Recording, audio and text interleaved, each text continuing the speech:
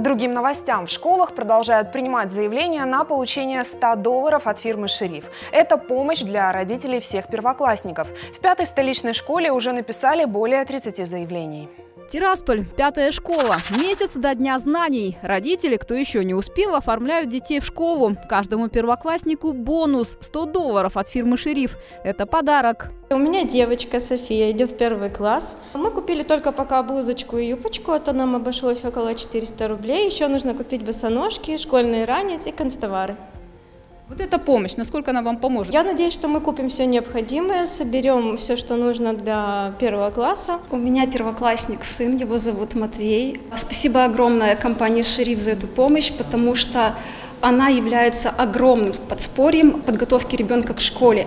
Я понимаю, что э, данной суммы при э, очень грамотном распланировании бюджета хватит для того, чтобы собрать его в первый класс. На что потратите? На констовары на форму школьную, на спортивную форму. В пятой столичной школе в этом году 100 первоклассников. Заявление на получение помощи от шерифа написали уже более 30 родителей. Здесь им помогает Елена Дидык, учитель начальных классов. Заодно и знакомиться с родителями будущих учеников. До 5 числа мы принимаем заявление. Несложно совсем, родителю нужно иметь паспорт, счет, копию счета открытого в Агропромбанке и копию паспорта с фамилией ребенка. Приходят все подготовленные, пакет документов, все как положено.